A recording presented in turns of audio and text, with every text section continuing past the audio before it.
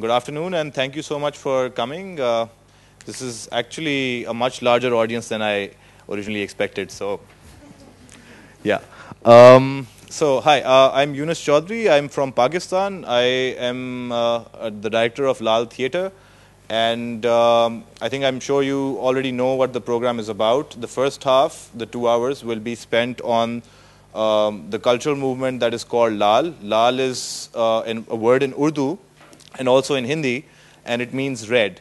And I'll be talking about some of the work that we do in Pakistan. And uh, the second half is basically a documentary about a movement, which I'll come to at a later point. I think I'll start with a small video to give you an idea of, of what it is that we do. So.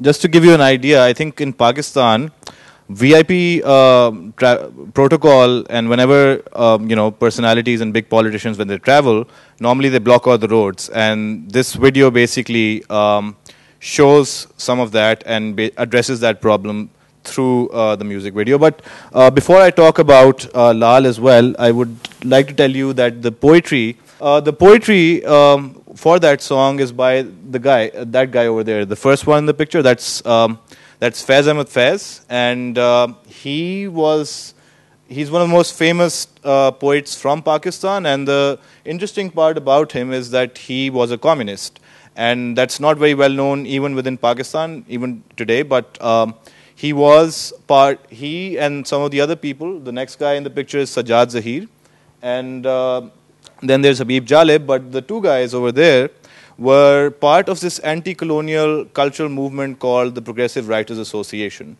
which was very uh, crucial in turning the national discourse against the colonial occupation um, um, of, of, the, of the British. And basically what they did was that they organized writers, um, literary figures, and, and started changing the discourse on aesthetics within the subcontinent. And, uh, and, and what we try to do is basically borrow on that same tradition. And, uh, and the kind of art that we, we, we draw on is called social realism. And it can be basically, um, uh, it, it, it's captured very beautifully by, by, by this one quote from this individual called Munshi Premchand, Premchand when he talks about aesthetics. And it goes something like this. Um, he, he's addressing the artists in, in the subcontinent, and he says that um, if you cannot see the beauty in every drop of sweat that trickles from the brow of a peasant woman who's working in the fields, then you don't know what art is. And, and, and, and this is how they basically approach aesthetics, because before that time, in the subcontinent, people normally talked about themes of love, and, and the normally and the normal sort of mainstream aesthetic things that people used to focus on. And these guys just changed everything. And and uh, Habib Jalib uh, was a left leader as well as a very renowned working class poet of the working class. And uh, so these are the, some of the main figures that we borrow a lot from aesthetically speaking. Okay, so um, I'll be covering the background of the movement, Laal, and uh, and and what we do, and some of our projects and, and what our overall basic uh, vision uh, represent. These are some of the projects that, we, the, that Laal has. Laal is a cultural movement that borrows on the tradition of artists that I just mentioned, and it's a very left-wing movement. Uh, we have a theater, we have a band that is the most sort of visible uh, of our projects and whose video you just saw as well. We have a youth group that, that's called Laal Brigade, which is not very active, but it's there. Um, and then uh, we have a we have a film component, we have a social media component, and we also have a poets collective. And, and before, I, before I talk a bit more about Laal, I think I should also tell you about the crisis of the left in Pakistan. I think that's, uh, and ever since I've been here in Germany as well, I think it's the crisis of the left worldwide. But it's more intense in a country like Pakistan because, unlike um, in our neighboring India, which was once a part of the same, same sort of country, um, left politics has been very hard. I think in Pakistan, when you speak of the left, you don't see them in the mainstream. Um, left, for the most part, has been marginalized. Um, and, and for us, it's been a very big challenge trying to somehow find our way into the mainstream discourse. And, and it's, been, it's been hard because throughout our history, since the 50s, the first ban was imposed on the Communist Party uh, in the 50s. And after that, the left had to operate underground and had to suffer repression at the hands of uh, pro-US military governments, which wasn't a very friendly sort of atmosphere to work in, politically speaking. And it's only the last 10 years since the left has started to regroup itself and reorganize and, and start work, working more, once more in the grassroots level. But it's still very small. So that's, that's how we came up with the idea of, of using that rich tradition of culture that was already there and somehow finding our way into the mainstream discourse. And we've managed to do that. And how, I'm just going to tell you. Okay, so in 2007, Pakistan experienced a pro-democracy um, upheaval. It was the lawyers' movement, and it was a very middle-class movement, but the lawyers came out against the government of Musharraf. Uh, Musharraf Pre uh, President General Musharraf was a military dictator in Pakistan from 1999 till 2007, and then he tried to mess with the with the uh, judicial system, and, and the Chief Justice and the lawyer said no. And once that happened, it radically sort of politicized a lot of cross sections of society, including myself and, and students and, and even trade unionists uh, joined the movement at, at one point as well. So it's one of the biggest upheavals in Pakistan, politically speaking, since the 1960s. Nothing to that of this scale has happened ever since then. So and, and it resulted in the ouster of the military dictator as well. So, and the left also used this opportunity to bring its uh, discourse to the forefront. And it was during this movement that some of my comrades from the Communist Mazdoor Kisan Party, which is what I'm a member of, uh, started showing up at protests with a guitar and, and, and singing for the, for the lawyers. And, uh, and once this happened, and because there was no cultural expression Culture was literally missing from the movement. There was no cultural expression as far as the movement was concerned. Um, they were they were picked up by one of the most sort of um, one of the biggest channels in Pakistan, which is very right wing. But because there was nobody else doing the kind of work that we were doing, eh, they offered us an album deal, and uh, yeah. So um, and and and we basically uh, wrote the anthem of the movement, which was basically. Uh, a poem written by a leader of the lawyers called, uh, his name was Aitzaz and it was called Kal Kal. And, and we coined the, and we sang the anthem of the movement, and that was our claim to fame. And the next thing you know, uh, the video that I just showed you was the first video that appeared on the mainstream channel, and all of a sudden, the left had its space. You could see pictures of Ho Chi Minh and Che Guevara and Chu Zhou Enlai on, on the, one of the most right-wing TV channels in the country, right? And yeah, so that, that's how we, we realized now we have a space. Okay. So that was the first album. We got a record deal from, from, uh, from, from that channel. And then uh, we also have recent, recently released a second album as well. And, uh, and it's an international album. Uh, one, is, one part is released in Pakistan, and the other part is uh, being released in India with the Times of India record, which is our international distributor. So, so, uh, so the band has now become a very South Asian phenomenon. It's the most visible and one of our first projects. And, um, and it's doing concerts all over the world. In fact, it even came to Germany. It was invited to Frankfurt. It's uh, pretty interesting because they have a large um, Pakistani expat community, so, so it's kind of nice. Uh, but it's funny because uh, the band gets a lot of reception from India because people there are on the left, and in the mainstream discourse, you don't find any left wing culture as well. So it's very interesting. And when Laal came out, it's also a very interesting phenomenon. It inspired a lot of other acts to other musicians to take up protest poetry as well. You saw people, for example, I'm sure a lot of you might not know, but like there were small acts like Brigade and, and many others that were inspired by what we did.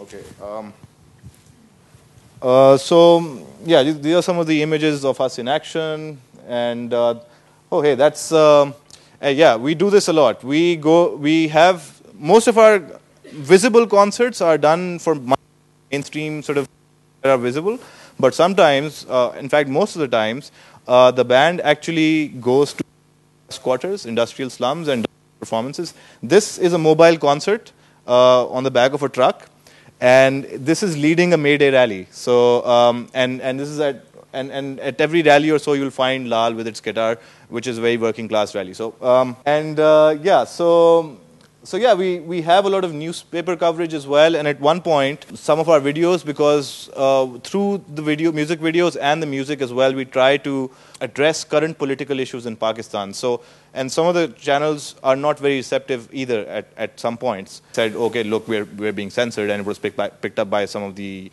uh, newspaper channels as well. And uh, I think I'll leave Laal here and show you another music video. Okay, uh, before I show you the video, I'll tell you a bit about this as well. This is a very interesting piece of footage. In Pakistan, there's a very, one of the largest uh, peasant movements in the country is in the south of Punjab. And these are all landless tenants, and uh, these tenants were promised land by the British uh, before the partition, which was in 1947, and they, they were invited by the British to come and till a land which was at the time fallow. But after a while, it became fertile, and the army took it over, and uh, it, it converted into military farms, so on and so forth. And, uh, and these guys were never given the land that they were promised. So ever since then, their, their number in millions, and they've been in, in, a, in a direct conflict with the Pakistani military. And it's, it's, it's composed of thousands and, and millions of village, uh, peasants in, in villages across South Punjab. And um, this was a rally uh, which went all the way from a place called Okara to, to the provincial capital of Punjab, uh, Lahore, and uh, mounted tractors and, and just went on the roads and, and, uh, and wanted to go to the capital. Some, at some points, they were blocked by the, by the provincial administration as well. And this, this concert and this video is basically, uh, the, the footage is from that rally. So it will be an interesting thing to sort of see as well.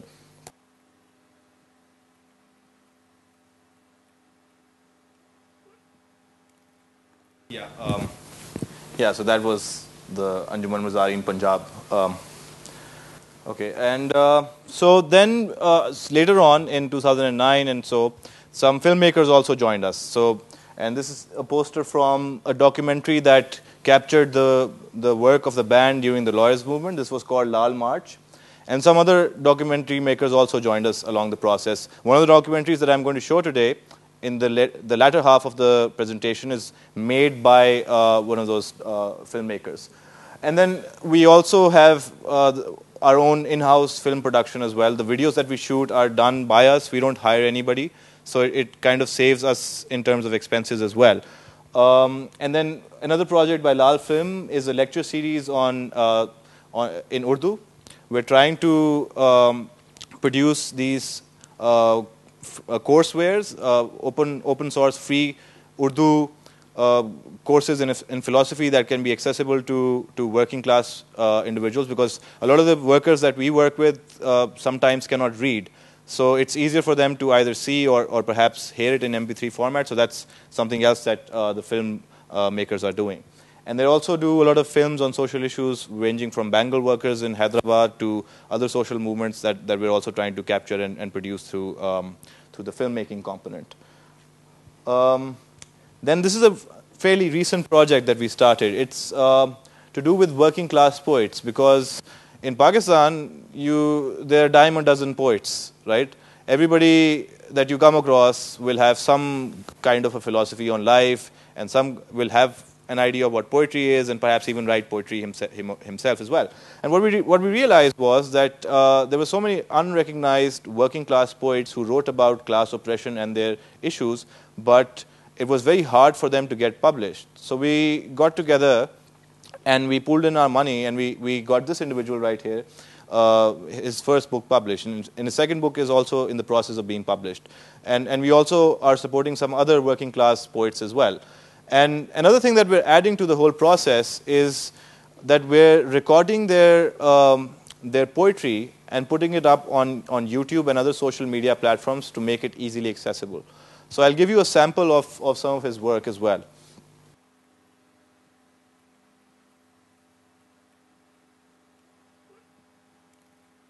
Okay. Um, unfortunately, there was not a video version of this with subtitles, but uh, what I have tried to do is to translate from the language, which is Punjabi. This is not Urdu, and uh, and I hope I can do justice to it. So I'll read a translation of what he just said. His name is Irfan Ali, and the title of the poem is Dar Na Javi, which means "Do not be afraid." And basically, what he's doing is, And he's a, he's a grassroots working class leader and also a member of the Communist Party. So, and, and during the course of our work, what we realize is that uh, a lot of the workers who are working in various uh, textile sectors and in other sectors are very afraid of, of, uh, of organizing, or they, they see no point in being politically active because, because they've lost all hope. I mean, they find it as a hopeless exercise. And, and this is what he's trying to address through his poetry. And what he says is, My friend, do not be afraid. Do not lose this fight because it is ours to win. They live forever who die for the truth. And please don't die from the fear of death. The oppressor will only be emboldened. Don't you tolerate oppression and cruelty. Even today, stones will not melt. Don't you go home empty handed. Leaving the truth and your rights behind, don't go, on, don't go ahead and fill the bank vaults of the rich. You are alive, my friend. Do not drown like a corpse. Look how my lips are sealed, but Irfan, do not you be silenced. This is what he, um, this is what he was trying to say to his comrades through his poem. And, and I think uh, what we're also trying to do is give a lot of these guys a voice by putting their material on YouTube and by getting them published. And, and there's so many others like him who have perhaps volumes and volumes worth of poetry written, but they don't have any way of getting published. So, so that's something that uh, we feel strongly about, and that's something that we're supporting as well. So that's the working workers' poetry side of it. This is our Facebook page, and uh, it's one of the fastest growing Facebook pages in Pakistan. We have, um, and this is this is an old figure because I took this snap uh, a couple of weeks ago. So now it's 280,000 likes. So and it's a, it's a very interesting new thing that we started doing actually, um, because nobody in the left is doing this. We realize that media and other at times because you're left and your your content is very politically charged. Sometimes you might not find the media very very sort of uh, positive towards your content. So so we created this social movement as well to support our initiatives and it's it's taken a taken a shape of its own as well. Now we have uh, over 15 moderators who work as volunteers and who who basically manage our page. And uh, we do everything from online campaigns to sharing content to political memes to um, to talking about current political issues. And it's a very South Asian page as well because a lot of people from India as well are now part of our moderators and they tend to um, they're part of the conversation and they're part of the engagement as well. Um, and yeah, so there are about 280,000 likes, and off, out of those 280,000 people, on a weekly basis, we we reach about 180,000 walls, and that's that's a big number for for uh, social media. So, I think at, at, any given time during the week, eight to 10,000 people talk about our content. So, what is our content like? Let me give you an example. Know this guy? yeah. So. Um, we try to combine humor with politics, and we for example, this is like when capitalism takes over, remember he's on your side. Okay. This is another example of what we do. This is a political meme. Uh, for those of you who are not very active on social media, because I've realized that it's a very German thing, but uh, uh, it, I can't generalize, but still. Uh, memes are like these, this small sort of image files which, uh, which address like, which have everything from humor to politics. So so this one's about a political issue. For example, recently in Pakistan, this guy um, on the top is like, his name is Imran Khan. He's a leader of um, the second largest party in the country now, which is very popular with the youth because he was also a cricketer and he won the World Cup for us and a very famous charity worker too. So he's very popular with the urban intelligentsia and young, young sort of students. So, and, and recently, after the elections, he was the one who proposed that um, we should talk to the Taliban and strike a peace deal with them. And this was our response to him. For example, he's saying, uh, he said that the Taliban should be given a political office. So, so this is meme basically addressing that. This is another one from the same, because uh, he, he believes that he has a very different narrative. So, so we attack him as well. So it's, it's not a very, it's a political page, um, the Laal page. I don't know if you guys know about this person, but um, we also did like a campaign, which was a series. Um, we use our page as a means of political education as well. Uh, for a lot of young Pakistanis, they're not familiar with figures from the left, so we did at one point we did a campaign series where we educated a lot of users or, or, people who are on our page about figures who historically have been with the left. This guy is Bhagat Singh. He was a young guy Uh, he was only 23 years old when the British hung him. And at one point, his popularity rivaled that of Gandhi. And he was a communist. He was part of the Hindustan Socialist Republican Association. And uh, so, so we did a political series where we introduced all these figures from the left, and we keep doing that. And you all know who this is, right? So we've even done a, a series about her. And uh, look, there are like 130 likes and 92 shares, which is kind of cool. Okay, and then we also talk about gender issues, for example. We address, we, we're very vehement on, on gender uh, related issues in Pakistan. This is something that we also address through our Facebook page.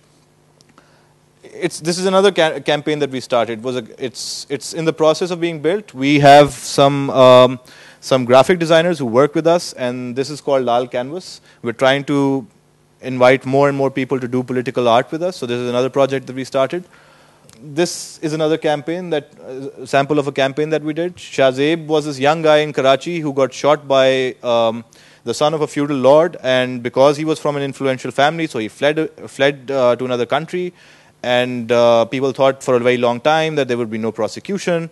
So, so to increase the public sort of sentiment and to polarize the public sentiment against the whole sort of uh, feudal system, we also joined in and we brought in our own sort of uh, discourse to the to the to the issue. And and we we did like a tribute concert for him in, in Karachi, and there was a very sort of strong online campaign campaign as well.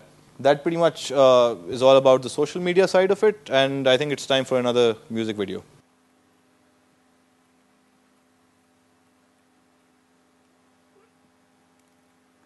Yeah, so that's um, that's basically a redoing of the entire narrative of of um, from our context actually. In Pakistan, when you read the history textbooks and the general sort of discourse, national discourse, uh, also about the um, about the whole Afghan jihad and the Afghan Soviet experience, is mostly seen within the light of something that was uh, a very good thing, right? Uh, it is normally portrayed as um, a, you know, a, a jihad that was, that was just, that was fought against cruelty and oppression in Afghanistan.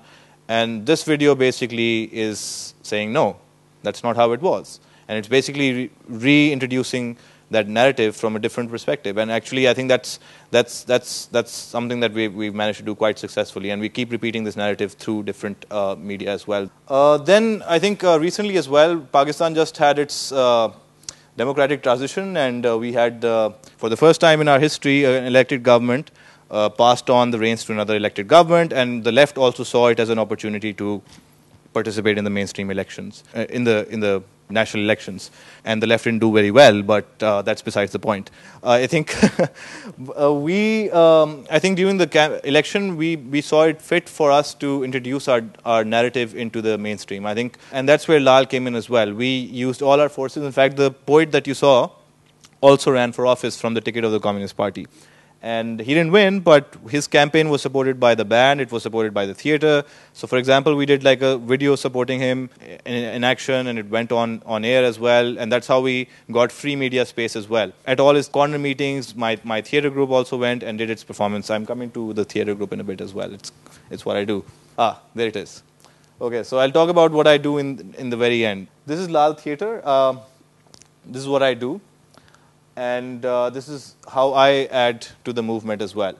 In 2009, I was a student, um, and uh, I was also a very convinced communist by then. So I had this college project where I had to do community service for three three months, and I decided to do street theater and combine and combine my work um, in the industrial slums where I did a lot of labor activism with theater, which is something I liked. So so I started doing street theater in the industrial slums of Lahore, and this was the second project that came under Laal.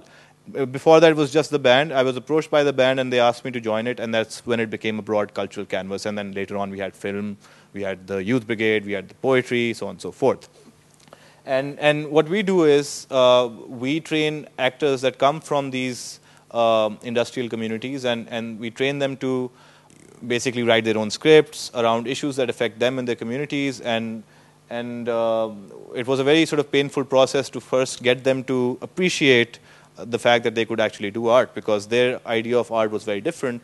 And and uh, it was a learning process for both me and for them. And um, just to give you an idea of how effective it was um, for for about five years before this i used to knock on doors in uh, industrial communities on the outskirts of Lahore from uh, quarter to quarter, go there and uh, just sit down with like 10 workers at a time, talk at hour, talk on for hours about their about their rights that are there that are already given to them by the state, but they don't know about it because they're migrant workers, or generally about the kind of conditions that were experiencing they were experiencing.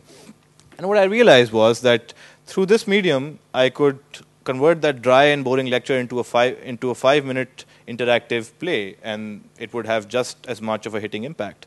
And that's what we started doing, and the impact was just it just blew us away. It was it was so powerful that uh, we started getting invites from all all sorts of places, from working class quarters and villages, and and you would see my actors appearing out of nowhere into, for example, sometimes a crowded marketplace, and, and they would do a shadow performance and then just disappear. This is a very this this thing is very popular in India, but in Pakistan, theater and culture as a whole hasn't really developed or matured to a point where you would have a lot of uh, street theater groups. Street theater in India, in fact, is so pervasive that it's being used for everything from political parties to homemade tips for diarrhea. But in Pakistan, it's not there. So, so, so we, we are one of the few people who are basically doing this. There are other groups as well, but this is what we do. We're very political.